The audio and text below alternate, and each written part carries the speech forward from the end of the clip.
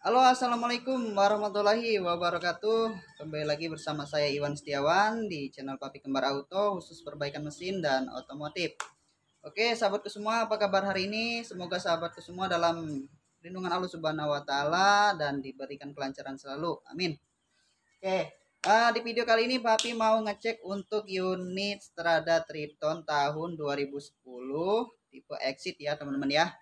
Jadi untuk keluhannya uh, Papi sudah diberitahu kemarin jadi kita cek dulu untuk bagian uh, mesinnya teman-teman ya.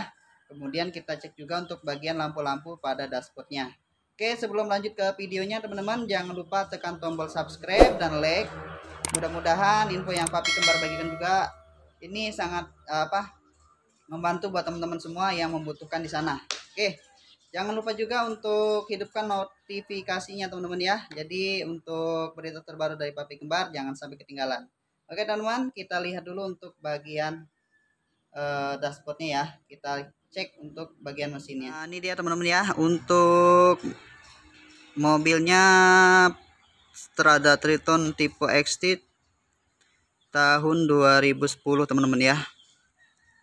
Nah, kita cek untuk bagian dalamnya teman-teman untuk bagian dalamnya ini masih original teman-teman ya. Nah di sini kita lihat teman-teman ya.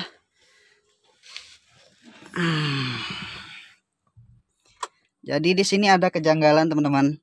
Nah jadi untuk penyakit mobil ini itu pada saat mesin panas kemudian kita lewat di jalan jelek kadang-kadang untuk mobil ini lost power ya. Lost power hilang tenaga kemudian tidak mau digas. Nah seperti itu ya teman-teman ya. Jadi uh, untuk lampu cek engine-nya ini tidak ada yang nyala. Karena untuk lampu cek engine ini teman-teman ini kita coba hidupkan ya. Nah di sini Bapak lihat untuk bagian lampu cek uh, mesinnya lampu cek mesinnya itu matinya bersamaan dengan lampu switch oli ya. Coba kita hidupkan lagi teman-teman ya. Nah jadi e, untuk lampu cek mesinnya ini hidupnya eh matinya teman-teman maaf ya teman-teman. Untuk matinya ini seirama atau bareng dengan lampu switch olinya. Oke ini sekali lagi teman-teman ya Nah, oke. Okay. Uh, untuk permasalahan di mobil ini, teman-teman. Jadi untuk trouble-nya belum belum papi sempat cek ya. Karena untuk bagian lampu cek engine-nya, kemudian untuk lampu olinya juga ini mati bersamaan. Sehingga untuk uh, penyakit di mobil ini ini tidak mungkin bisa kebaca ya, teman-teman ya. Karena untuk uh, dibaca untuk pakai scan kemungkinan besar ini ada permasalahan pada mesinnya. Nah papi mau coba uh, scan dulu ya teman-teman ya. Kita scan dulu uh, adakah permasalahan pada mobil ini. Mudah-mudahan untuk permasalahannya ketemu ya. Mudah-mudahan untuk permasalahannya ketemu teman-teman. Oke kita cek dulu kita scan dulu untuk bagian mobilnya ya. Oke teman-teman uh, di sini papi menggunakan untuk sementara ini kita gunakan OBD scanner milik papi ya. Jadi kita coba dulu untuk pakai alat-alat yang murah ini. Kemudian uh, bisa terbaca atau tidak untuk penyakitnya ya. Padahal untuk di sini teman-teman ya untuk di sini tidak ada masalah sama sekali. Nah jadi lampunya seharusnya itu lebih cepat daripada lampu indikator oli teman-teman ya. Jadi untuk lampu cek engine-nya ini sudah digabung dengan lampu switch oli ya. Nah kita gunakan dulu untuk scanner yang ini dulu teman-teman ya. Kita coba yang enak dulu. Untuk bagian colokannya ada di bawah teman-teman ya. Nah di sini sudah terbaca teman-teman. Kita on kan dulu kontaknya. Nah setelah ini kita cek ya.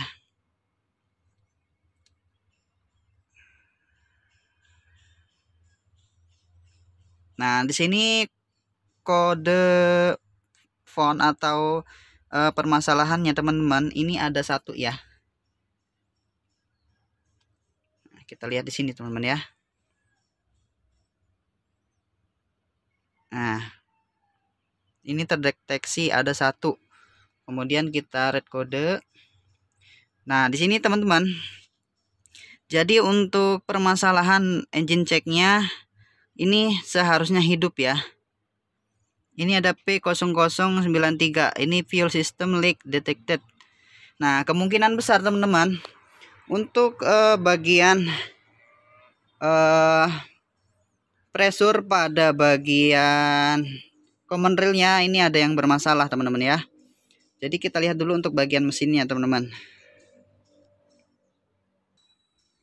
Nah, ini dia teman-teman untuk kondisi dan bagian mesinnya ini sangat rapi juga ya. Rapi dan bersih. Nah, di sini kita lihat teman-teman.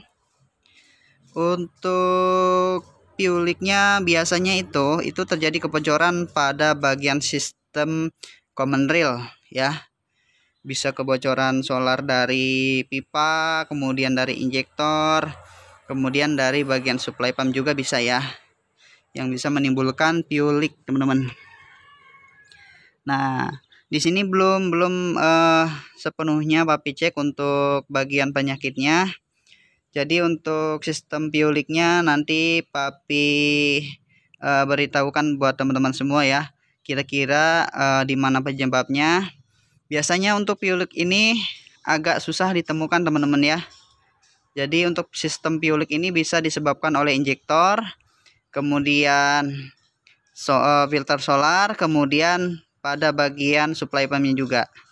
Nah nanti kita lanjut teman-teman ya Oke teman-teman jadi untuk permasalahannya di mobil ini teman-teman untuk lampu cek engine-nya tadi yang di jumper dengan switch oli Nah, kemudian untuk trouble-nya ini trouble-nya pada P00 sekian-sekian ya. Uh, untuk trouble-nya piulik teman-teman. Jadi papi lupa tadi untuk angkanya. Ini untuk trouble-nya piulik ya. Jadi sistem dalam common rail-nya ini ada yang bermasalah atau kebocoran pada solar. Nah, secara fisik untuk bagian pipa-pipa nozzle-nya papi cek tadi ini tidak ada masalah ya teman-teman ya jadi untuk permasalahannya ini belum jelas nah apabila sudah trouble seperti ini teman-teman uh, kemudian kita lihat untuk bagian uh, di supply pump yang namanya SCP. Nah, ada keluhannya di sini teman-teman. Pada saat dia mesinnya panas atau jalan jauh, namun uh, gasnya itu hilang tiba-tiba, tidak mau digas. Setelah itu mobilnya dimatikan dan hidupkan lagi ternyata mesinnya normal lagi teman-teman ya. Jadi ini kemungkinan besar uh, menurut Papi masih trouble pada SCP. Nah, di sini Papi lihat untuk bagian SCP-nya ini masih dalam keadaan baru ya, teman-teman ya. Ini Papi nggak tahu juga untuk diganti mobil apa? Untuk barang-barang biasa atau barang aslinya Papi belum lihat tapi untuk bagian SCP-nya sudah diganti baru ya sudah diganti baru nanti papi lihatkan untuk bagian fotonya SCP eh, kemungkinan besar ini masalahnya masih di SCP teman-teman ya. Nah kemungkinan besar karena untuk uh, penyebab pada bagian piulik ini masih banyak di bagian lainnya seperti injektornya bocor kemudian bagian pipa retur pada uh, supply pumpnya rembes untuk bagian uh, pelor pembalik solarnya ya. Itu teman-teman ya jadi nanti kita lihat dulu untuk bagian SCP nya karena SCP nya ini sudah diganti baru. Nah, namun sekarang uh, papi coba ya. Sudah lumayan lama teman-teman. Jadi lumayan jauh juga. Kemudian papi tes di jalan bagus dan jalan jelek. Ini papi tidak menemukan untuk trouble-nya ya. Jadi kita cek nanti di bengkel. Kita lanjutkan kita coba tes piulik kalau tidak ada kebocoran uh, kemungkinan besar penyakitnya belum bisa diponis ya teman-teman ya oke kita lanjut ke bengkel teman-teman ya Nah, teman-teman, uh, sekarang Papi sudah berada di bengkel ya. Jadi di sini kita lihat untuk trouble-nya pada mobil ini. Nah, ini terjadi pulik problem ya, teman-teman ya. Ini pulik problem yang masih Papi sebutkan tadi untuk kodenya P0093 ya. Jadi papi mau coba tes piulik di sini. Semisal tidak ada yang bermasalah dan piulik itu masih bisa di uh, di reset teman-teman. Jadi permasalahannya uh, belum bisa kita temukan ya, belum bisa kita pastikan untuk penyakit utamanya. Nah, kita coba hidupkan dulu teman-teman ya. Nah, kemudian di sini kita uh, kita hapus untuk uh, kode trouble-nya.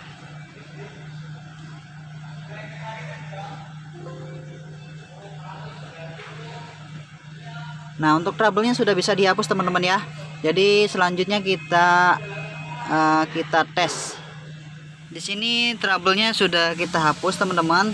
Setelah ini baru kita reset. Kita coba tes dulu ya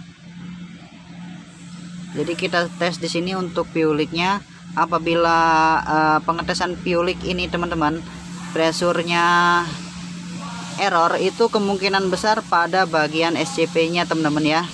Jadi di sini kita mau coba tes dulu untuk bagian piuliknya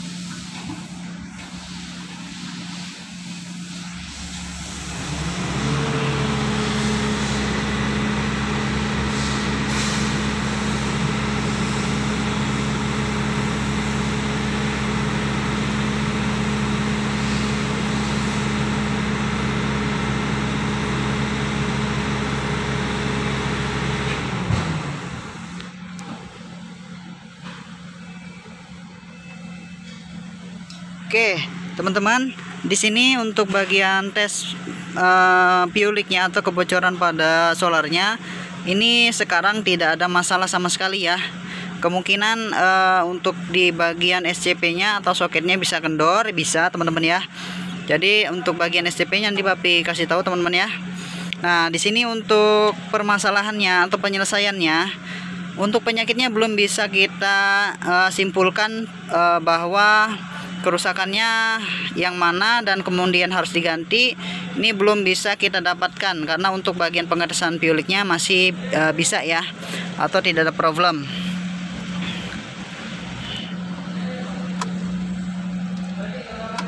Nah teman-teman untuk bagian uh, lampu cek engine-nya dengan lampu olinya uh, apabila kita mau perbaiki kita harus uh, lepas bagian belakang odometer kita cek kemudian bagian manakah yang di jumper ya. Ini untuk lampu engine-nya di jumper dengan lampu olinya teman-teman ya.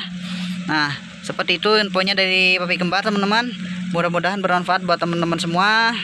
Jangan lupa teman-teman yang belum subscribe subscribe-nya. Dan yang sudah subscribe Papi ucapkan terima kasih banyak teman-teman ya Oke, sampai ketemu lagi di video papi kembali berikutnya. Assalamualaikum warahmatullahi wabarakatuh. Mantap bosku, semangat semangat.